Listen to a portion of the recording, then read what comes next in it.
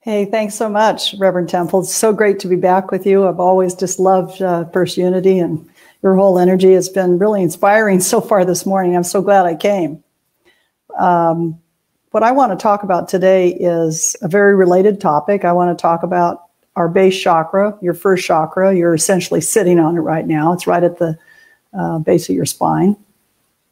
And our first chakra is fairly uh, discombobulated, would be the technical term I would use. It's, uh, it's not super happy. I'm sure you've noticed it started back in March.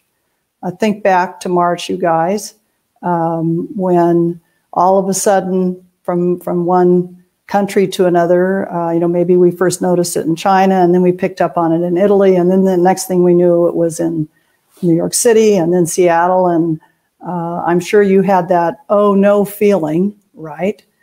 Um, as your base chakra pulled up inside of you.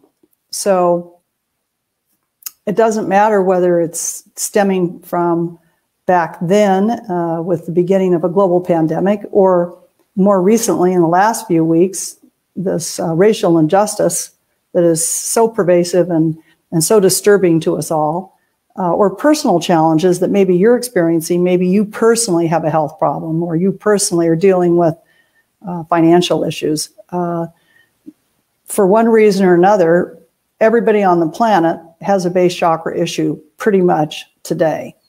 Um, when I first noticed it back in March, uh, I never have trouble sleeping. And all of a sudden, I wouldn't say I was having trouble sleeping, but I had the most uh, uh, unbelievable dreams, and they were disturbing, not nightmares, more real than that, more like daymares, you know. And I asked around, I asked my student body how many people were experiencing this, and I would see all these hands go up in the air. So, what we were feeling were one another. So it's not just your base chakra that went, ah, we may not survive this. This is scary. But everybody on the planet, pretty much at the same time, over a matter of weeks, went into the same state of fear. Um, the interesting thing is, Mother Earth has a base chakra too. I'll talk about that more in just a minute. So we're not only feeling each other, millions of us, but we're also feeling her. And um, her chakra. So fear seeps into our energy system. You're sitting inside your own bubble of energy right now. Think of it as a beautiful, you hope, iridescent bubble of light and color that's constantly dynamically moving a little, not not um, not stayed or locked in place because then the colors get kind of muddy and brown. You want it open and vibrant and just like you saw with these with these amazing uh, music team here.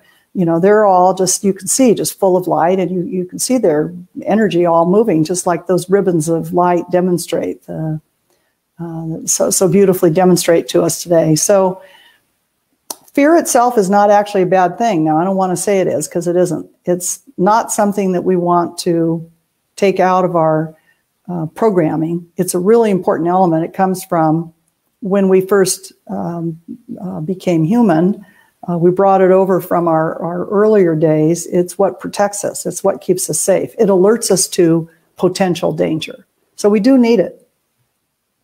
But we've been mostly conditioned to allow that fear to take over and drive us. And that's what we don't want. We want the early warning system, but then we don't want to just like live in it and, and leave our base chakra upside down. Um, then we're letting fear guide us and rule us. And it's like putting the wrong fuel in your car's gas tank. You know, it doesn't run very good, it's not good for the car, and you won't get where you want to go. So that's when you let fear run your life, that's what happens. I'm sure you've experienced it. I have too. So I'll just um, tell you briefly my own story. I, I was a just out a year out of law school in my early 20s and young and hard charging. And I was going to take the corporate world by storm, I thought. Uh, and I woke up with cancer. And I was like, well, that wasn't part of my planning, my programming. So I stepped off my life for a moment and looked at myself, which wasn't fashionable back then, a million years ago. One didn't look at oneself. And I was like, ooh, kind of disturbing. Looks like um, you have a lot of things you don't want to think about, Deborah, and you're coping uh, with your your things you're not thinking about with alcohol and and um, prescription drugs and you know the things that were popular in the day. So I stayed off the treadmill long enough to stumble on first meditation, became an avid daily meditator, uh, as I would urge you to be, uh, hopefully with a mantra uh, that's been selected for you by a teacher, because that will most drop you out of all this chaos and pandemonium that we're all sensing out there in the universe, okay? And then the next thing I did was I stumbled, again, I'm sure uh, very serendipitously, on energy healing, where I now spent some, you know, almost 40 years uh, studying and teaching it. It's an amazing field, and uh, it really uh, centers in on some ba- basic primal emotions like fear. So when you get right down to the bottom of it, there's two emotions really. There's just love and fear. It's like one or the other. And we have created a shadow relationship with fear, especially in recent months. We, we really have. And, um, you know, we tell ourselves, you may be telling yourself, for example, well, I can watch 45 minutes of news in the morning and a half hour at night, uh, but I'm going to think positive. Well, that's pretty hard to do because you've just through visually through your your eyes and auditorily through your ears, you've just taken in what the media delivers, which is pretty fear inspiring, isn't it? Uh, into your emotional body, your energy field. So your energy field has many layers, and one of them is your emotions. And so there, all of those stories you just heard on the news sit, uh, and you try to rise above it and think positive It doesn't work too good, right? We try to float above the fear or ignore the fear, or uh, what I learned to do as a child, repress it, and uh, it's still there. And what we need to do is transform it. That's what we'll be doing in just a few minutes.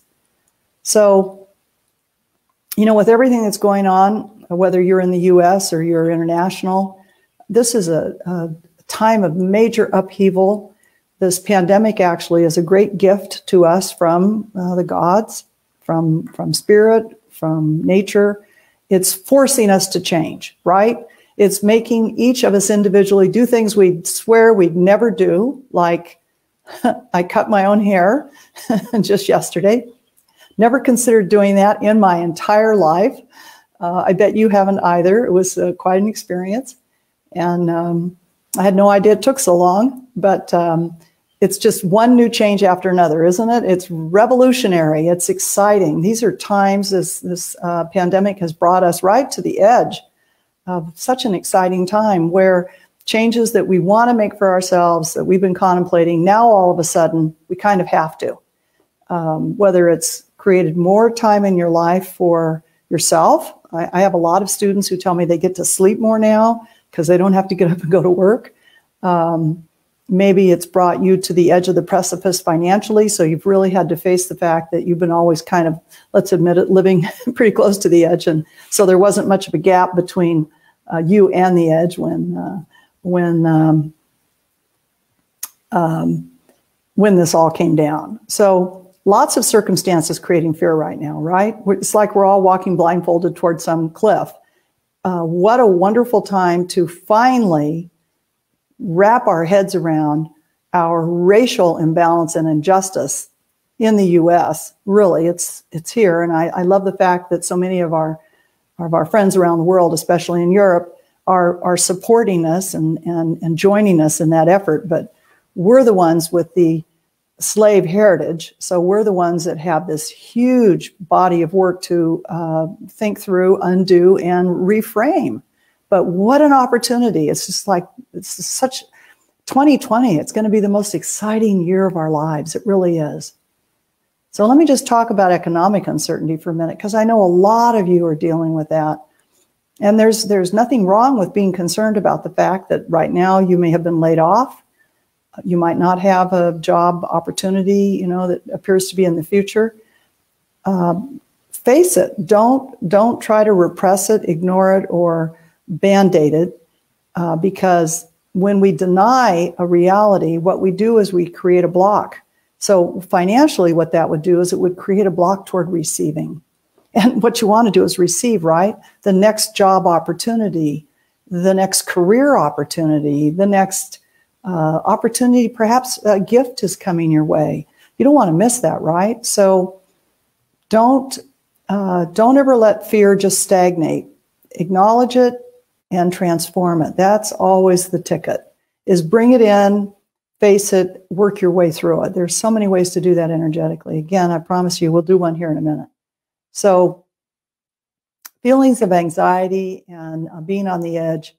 Um, what, what we do then is we project, right? We we blame the the next thing that crosses our horizon, the next phone call we get, you know, your mother sends you an email, whatever the next thing is. We tend to project our unease and and uh, inner chaos. We project it out on something that's maybe pretty harmless. Um, that's what we do with anxiety. So all of this creates an imbalance in our energy system and can lead to ultimately health challenges. Now, mine came in my early 20s. I had a, God, I must have been really, really anxious. Okay. And I, I know I was. In fact, I remember when I learned to meditate from a teacher like myself, I had a teacher teach me in person. Uh, I ran into him. I went a year later. I decided I wanted to learn to teach. And so I went to school where I ran into him. And uh, he said to me, um, you know, now I was a colleague and not uh, his, his client. He confided, confided in me that, you know, when I taught you, Deborah, um, it was pretty weird. I would peek at you, you know, I had my eyes closed, of course, and then I would just peek to see how you were, and your whole body would be shaking. And he said, I, I, I went back and I called headquarters and I said, what does this, what does this mean with this, you know, young girl? What's this mean? And they said, you know, we're seeing it a lot in Vietnam vets that are coming home. It's PTSD.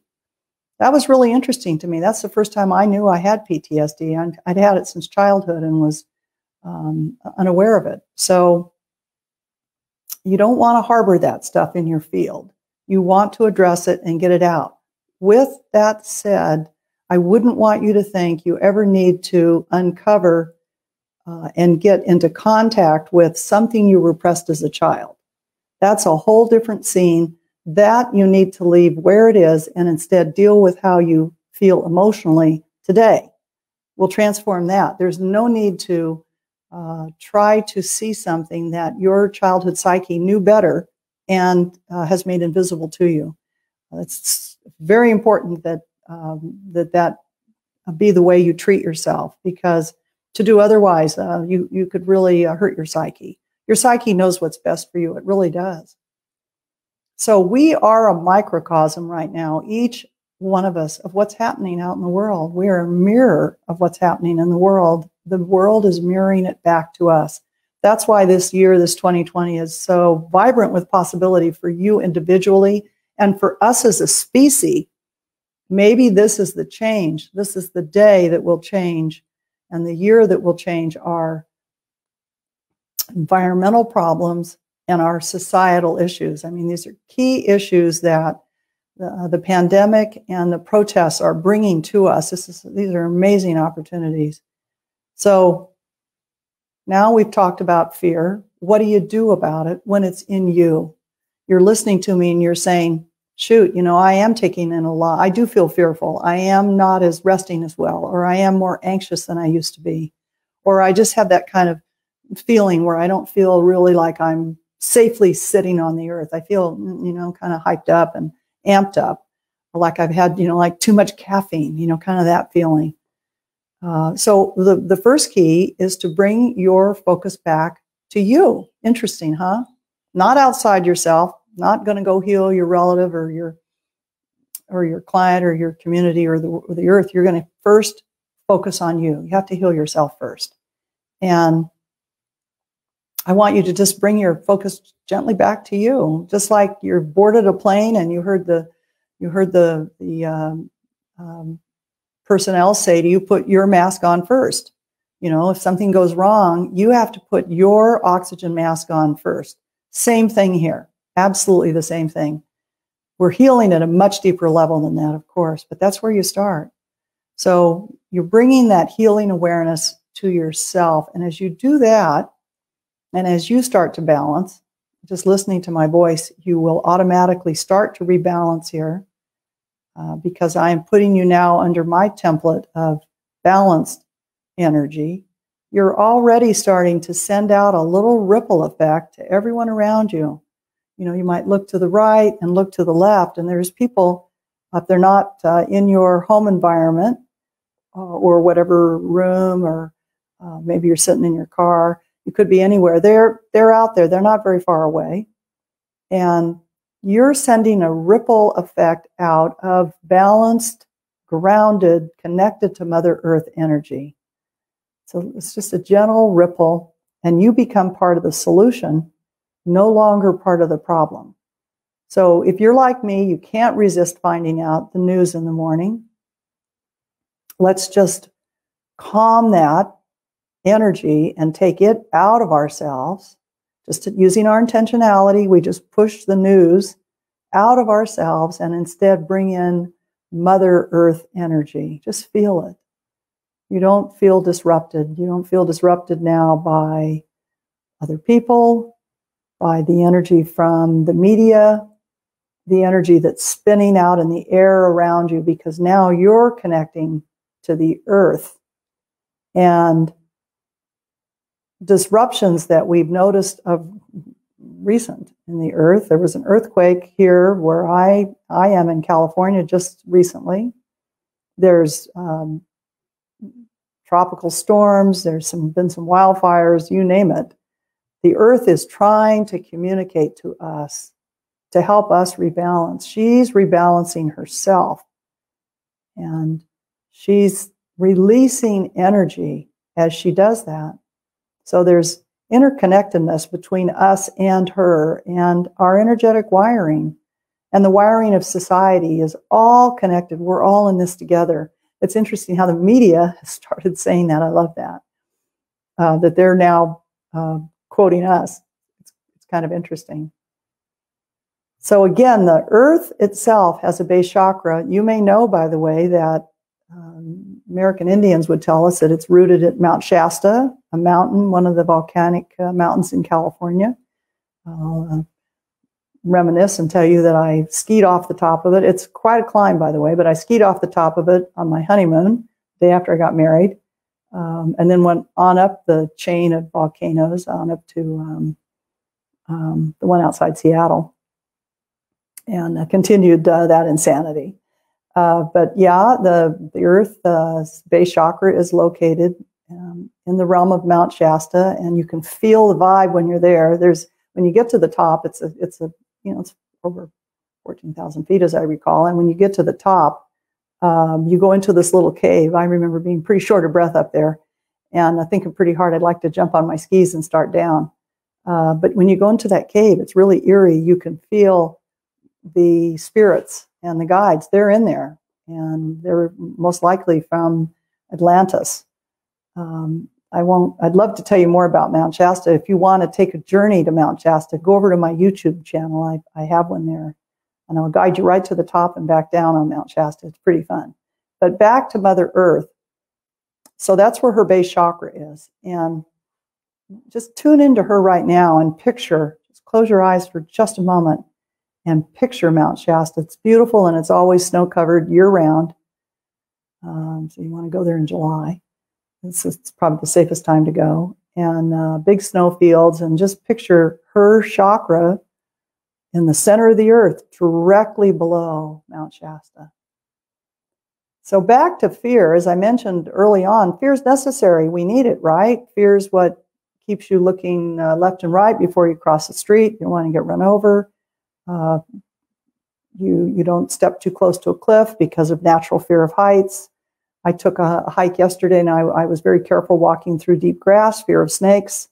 So, you know, our ancestors, they used fright as their early warning system to protect them from all these things. And our brain is continuing, somewhat incorrectly, to use this uh, to shield us from harm inappropriately like when we listen to the news. So every day, if you hear that rising COVID number and you see it blaring at you from the television screen, it's going into your base chakra. What I would encourage is compress your news into five minutes on Google every morning and then watch something like a rerun of, of Reverend Temple here, maybe one of her one of her uh, most recent Sundays that maybe you were traveling or something, and that'll fill you with good a good base chakra vibration. Uh, good. Uh, they had they had great music this morning. That's really good for your base chakra because it has it has bass, it has drums, you know, and that's the that, that's what the base chakra responds to. So we don't want to live in fear all day. We want to respond to it, and we don't want to store it. We want to have a response and, and action, a safety action response. So um, when we absorb it and hold it, we hold it in the base, where not a good place, okay? Um, uh, down there below your spine, where uh, oddly enough, because it's way down there, severely impacts our adrenals and uh, fight or flight, right? So if you're living in fight or flight, like I did as a child, you wear yourself out. Your adrenals just, oh, you know. Um, I met a Chinese medical doctor the year I was 20. He didn't speak much English. I was very uh, taken with him. He'd just come from a monastery in China and he felt your skin and then he told you what he discerned. And he said to me, I don't know the name of this in English, but there's glands at the base of your kidney and yours are way too big. They should be small and yours are very enlarged and you need to do something about that. I said, like what? And he said, Tai Chi. I thought, oh, okay, I get it, I get it. So I went and looked it up, you know, to see. Well, I didn't know the, that's the adrenal glands. So again, your your base chakra is your your powerhouse of connecting you to the earth, and the things that throw it are pandemics, uh, or you personally having a surgery, a car accident, uh, a shocking event in your life, like your partner walks in with uh, um, the news that he or she's leaving, that kind of thing just throws your base. Um, if you had a childhood surgery, you might still be dealing with trying to really ground yourself. Childhood surgeries are, are, are pretty tricky to uh, recover from. If you had one, I would encourage you to do a lot of grounding things like Tai Chi, for example. Um, fear of the virus, it's very ungrounding, isn't it? or fear of a personal illness for yourself in addition to it. Maybe you feel like, oh my God, I have that underlying condition, you know, that we keep hearing about on the news. And who doesn't?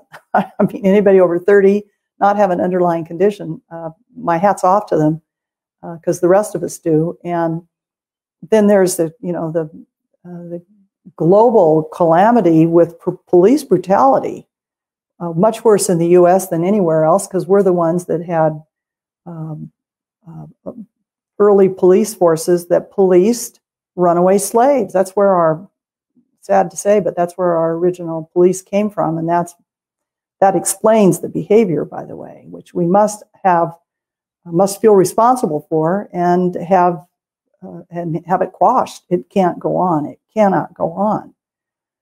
So, in just a minute here, I'm going to lead you through um, an affirmation um, that will also help you. Let's do that now. So before I get to the exercise, I'm going to tell you a couple things you can do. One is affirmations. As long as you're taking in an affirmation every morning from the news that, oh my God, we're now at X number of COVID deaths or cases, or you're saying to yourself affirmations like, the world is insane, or I'll never get another job, or the virus is rampant, it's worse, it's going to be worse next month. We need to have some positive affirmations. They do work. They do work, just like the ones I just mentioned work on us. So after you've heard all of that, you need to say, I am safe. I am secure. I belong here, right here on Mother Earth. Let's all say that together right now. I am safe. I am secure. I'm, I belong here. I'm deeply rooted to Mother Earth. Let's say it one more time. I am safe. I am secure. I am deeply rooted here to Mother Earth.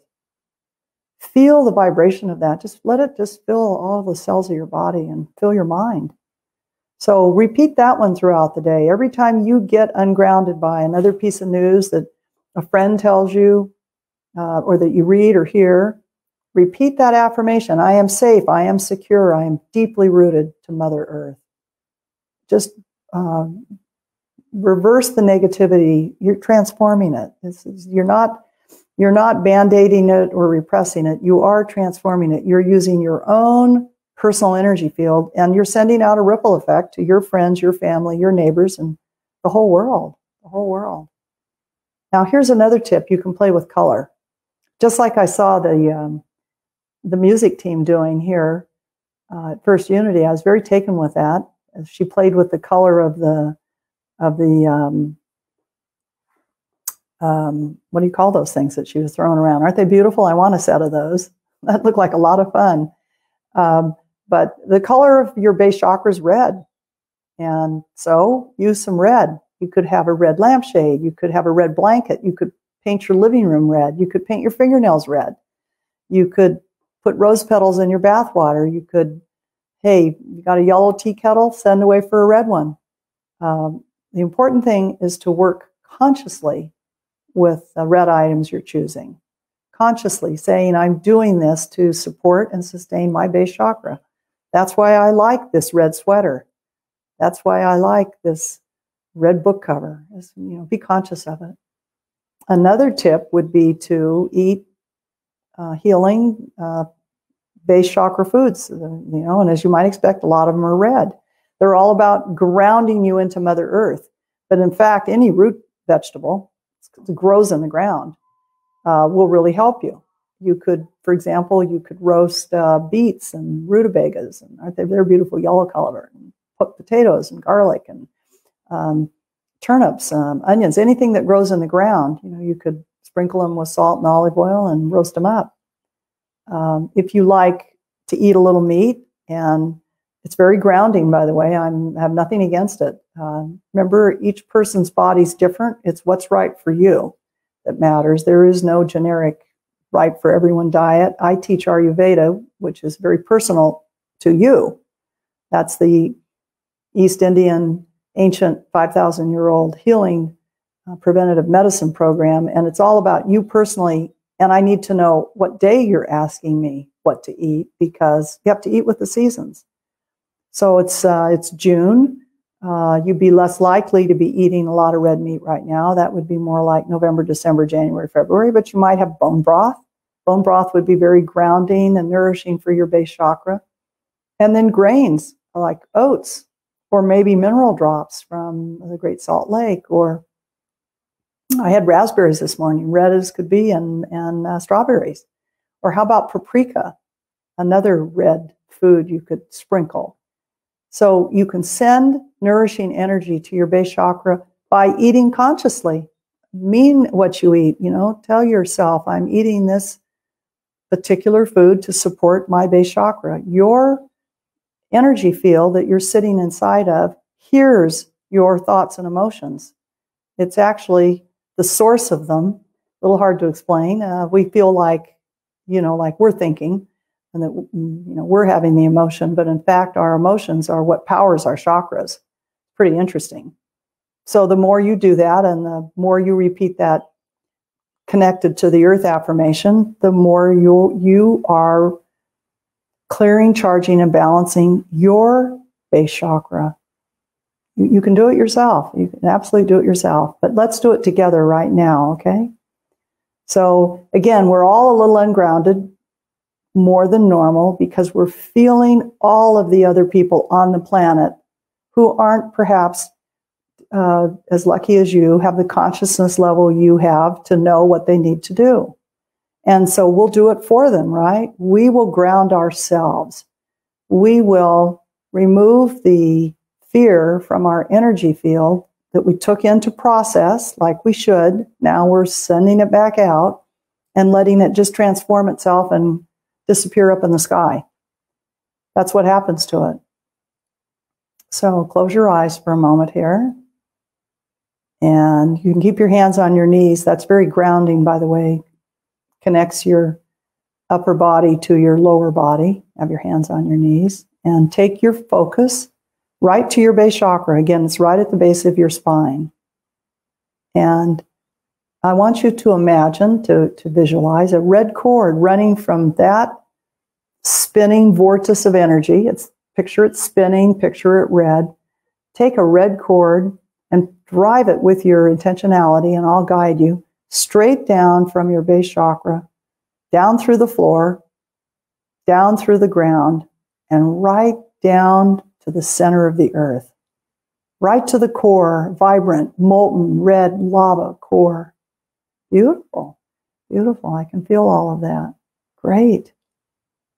So while we're here at the Earth's core, feel her chakra spinning and radiating and enlarging in size. We're healing her chakra right now. We're using our combined energy, and we're all combined here. We're, Reverend Temple did that already. She masterfully combined everyone's energy on this on this call this morning. Just feel how we're all connected. Our base chakras are open, vibrant, spinning, and healthy as can be. And we're pushing that energy down to Mother Earth. And she is, uh, she's picking up from our energy. And now her chakra is spinning the correct direction and spinning in a bigger and bigger way. Watch it spin as it gets bigger and bigger and bigger. Mother Earth's base chakra, and now intend to pull her vibrant, strong, volcanic, red energy back up that cord using your intentionality. Pull it right up that red cord that you formed energetically, right up through the core of the earth and right up into your base chakra. Beautiful. Just breathe into that. You are the resource. She is the resource. She has the capacity to hold us and nourish us. And we have the capacity to hold and nourish ourselves. And now that you have this vibrant strength, this huge core of energy, now let's send it out to the rest of the world, just out through our hands. Just intend for it to leave your center it comes up through your core and into your heart and goes right out your arms. Just see it going right out your hands. Just intend for it to go wherever it's needed, maybe right in your own little community, maybe to your neighbors, maybe your village, maybe you're in a city, maybe you're the whole building you're in if you're in a high rise. Just send it out. Beautiful. Look how well your energy system is working this morning. Isn't this great? Now visualize your base chakra as a flower. Yeah, it could be a lotus, any flower you like. Make it red and then watch it bloom. Just intend for it to bloom bigger and bigger and bigger. And notice how it spins and stabilizes and radiates. And you're in the vibration, and your vibration is rising as you really ground your base chakra. Beautiful. God, you guys are so gifted at this. Now bring your hands from your knees up to your heart chakra, right in the center of your chest. And feel that smile that just wants to happen to you. Go ahead and smile. And open your eyes. Great, great. I want you to feel how rooted you feel and how secure you are in your birthright. Yes, the world, the world is your birthright. You personally, the world is your birthright. So remember how natural it feels for your base chakra to feel this way. Feel it open and spinning and expanding in size. Always want it open. Doesn't have to pull up. It can just stay down there no matter what happens. And go ahead and feel the fear that's in you on a daily basis and then just clear it, just as we have done together. It's that simple. So you'll get so much joy and vitality and health. And of course, the base chakra is your fountain of health. It's what connects you to the earth, and the earth is what keeps us all healthy. And I want you to feel really, really, really secure and safe. All right, great being with you. Thank you, Temple, for having me.